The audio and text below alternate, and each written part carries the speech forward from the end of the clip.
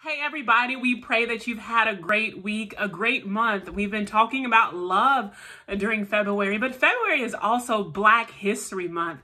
Black History Month is that annual celebration of contributions that African Americans have made uh, to the United States history. And when we think about all the contributions of African Americans, the list goes on and on and on. Just in the world of inventions, we can look at potato chips and peanut butter, improvements to refrigeration and, and lighting systems and heating systems and cooling systems. There's so much that African Americans have contributed to uh, the United States. Uh, but the reality is that as a culture, we as African Americans have not always gotten uh, favorable treatment, and it's still a struggle as we seek equality and justice. Uh, but today we're going to look at the book of James and see what James has to say about treating other people differently uh, than we would another type of people. So let's go to James. So we're here in the book of James, and James is most likely the brother of Jesus. There's a lot of James in, in, the Bible, but we consider the author of the book of James as the brother of Jesus. And the book of James has these short little wise sayings, words of wisdom. It's not like he's writing this letter that addresses this and this and this, but he's got so many ideas. And I love what he has to say about how we interact with other people. The world will tell us to treat other people differently or treat other people like they're not good enough, but that's not the godly way. So James 2 verses 1 through 4, my friends, if you have faith in our glorious Lord Jesus, you won't treat some people better than others. Suppose a rich person wearing fancy clothes and a gold ring comes to one of your meetings, and suppose a person dressed in worn out clothes also comes. You must not give the best seat to the one in the fancy clothes, and tell the one who is poor to stand at the side or sit on the floor. This is the same as saying that some people are better than others, and you would be acting like a crooked judge. So here when James is talking about meetings, he, he's talking about church. He's telling church people not to treat people who may be different when they enter the church. What happens when we treat certain people different than others? How, how do you feel about that? How do you feel if this person is picked over you just because you guys may look different or uh, just because you may come from different households? It's not right. Uh, favoritism is, is not is not a good thing. And no matter what a person wears, we all should be treated fairly. Clothes, wealth, um, they're all mentioned in this particular Bible passage, but there's other ways that we treat people differently. So, so let's look at a couple ways that people are treated differently. Several words here, so let's think about them. Appearance, appearance. How do we uh, treat people who may uh, look different than us? Um, I think sometimes people may feel that they won't be accepted because of their appearance. I just read a, that article about that young boy whose haircut wasn't quite right. So people who may look different, uh, they don't deserve to be treated any less than anybody else. We need to treat everybody with love. Uh, what about ability or more or less think about not having ability like a disability?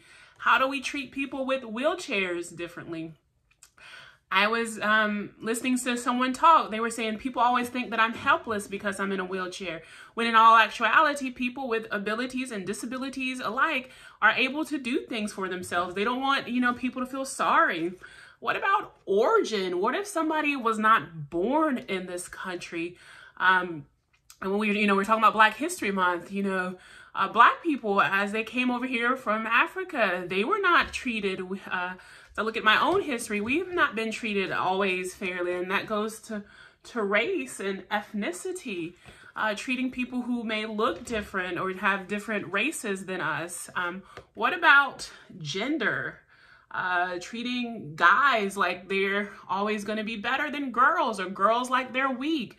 That's another way that society uh, treats people different. Language. Um, the United States has all these different languages and, you know, different people from different countries, but it seems like we cater to, to English and there's people who might need sign language or there's people who speak another foreign language. What about age? Um, older folks, uh, they may feel that, you know, people will treat them like they can't do things by themselves. And even younger folks may feel like people don't think they're responsible enough. Um, as we're talking about Jesus and belief systems, if somebody believes different than you, not everybody is going to believe in Jesus or Christianity, but it doesn't matter, you know, how people look or what they believe. Everybody deserves to be treated with love. All right, let's see how James closes that out as he talks about how God sees people that we may look down upon differently. God sees them high. You know, God sees all of us uh, with our potential and our image made in God. He doesn't see us based on our conditions or based on our parents or based on our money. God sees us, you know, out of love. And so let's see what James has to say. James 2 verses 5 through 7. James 2 verses 5 through 7. My dear friends, pay attention. God has given a lot of faith to the poor people in this world. He has also promised them a share in his kingdom that he will give to everyone who loves him. You mistreat the poor, but isn't it the rich who boss you around and drag you off to court? Aren't they the ones who make fun of your Lord? You will do all right if you obey the most important law in scriptures.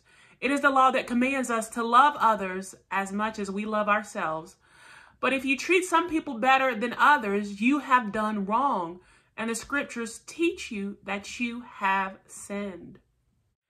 James here is essentially saying you treat people who don't even treat you good, you treat them better than you treat everybody else. How crazy is that?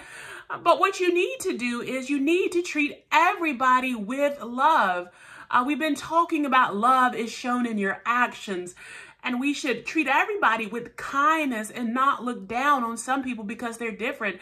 We shouldn't look down on people because they grew up over here as opposed to growing up over there, or they come from this neighborhood instead of that neighborhood. We're all worthy of the same love and kindness. Although we are different, we make up one human race. This word diversity, as we look at our differences, is a good thing. It makes us different than somebody else, but it also means that we have something to contribute. How would the world be if everything was the same? If we all looked the same, if we all talked the same, if we all acted the same, it would be boring.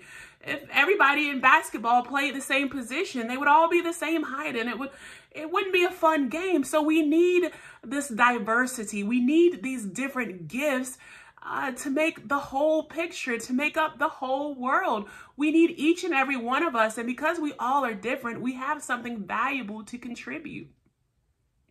So let's take a moment to look at, um, just for fun, some differences. See if you can pick out some differences in these pictures. All right, which one is different? This is the title slide, so this one's going to be very, very easy. That red tulip stands out. It is different. What about here? Which one is different? You probably already saw it. It is that V right there. Let's see. These first couple ones are pretty easy. Which one is different? I'm sure you saw that seat that stands out. That's the different color. What about here? Which one is different? One is not like the others. Yes, yes, yes. That right there in the middle. That squash is different. Let's see what else we got. Which one is different? A little bit harder. Do you see it? I'm going to give you guys a second. Some of you probably had already stood out. That Y right there is different. All right, let's see here. These are blueberries, so I, I changed the color because one of them's not quite blue yet. Can you see it? Yeah, right there. Which one is different? I'm going to give you a second to look. Do you see it right there? That one is different. It's a more of a flower. All right, last one. Very, very hard. Which one is different? Which one is different? Now scan everybody. Hmm, everybody got on the same shirt, but who is different? Who is different? As you can see, we've got men, we've got women, we've got um, different races, different people of different ethnicities. We've got so much going on. This is diversity. This is a good thing. So it's so important that we are different. We don't all want to be the same. Uh, what could you imagine if we all looked the same? It just wouldn't work out. And even the story that James is telling, he is the brother of Jesus, but he gets these words from his big brother Jesus. So let's see how Jesus said these similar words in Matthew. We're going to turn to Matthew.